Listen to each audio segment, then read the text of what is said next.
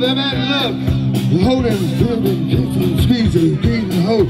Please that person, give him all your love. Every gentle caress, cause it's so important to have that special somebody to hold, to kiss, to miss, a squeeze, and please.